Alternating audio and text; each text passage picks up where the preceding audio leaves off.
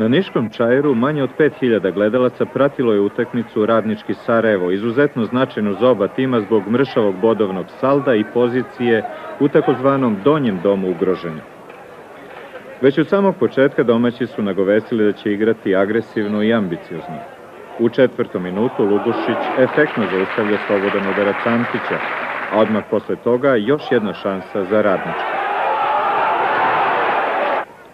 U 11. minutu opravdano se ljutio centar for povratnik Kusref Musemić. Kulevski ga je rvačkim zahvatom zaustavio, ali za sudiju Krivaču to nije bio 11 terac.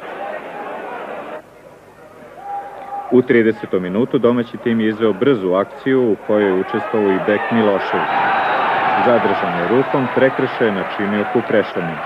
11 terac. Najefikasniji futbaler Nišlija ove sezone Višnjić bio je precizan sa bele tačke. Njegov 11. prvenstveni gol. 1-0 za radnički. U drugom poluvremenu igralo se mnogo lepše.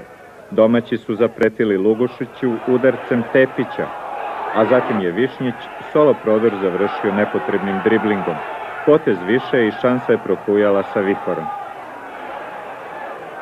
U posljednjih 20 minuta šanse i za Sarajlije. Prvo je golman domaćih Žarić smelo intervenisao ispred Omanovića. A zatim je Kuprešanin bio neprecizan u dva navrata. U finišu, posle kornera Višnjića, Antić je iz neposredne blizine propustio još jednu priliku. Bodovi sa velikom specifičnom težinom ostali su na čajru, jer je radnički bio i srećniji i bolji za taj jedan jedini gol.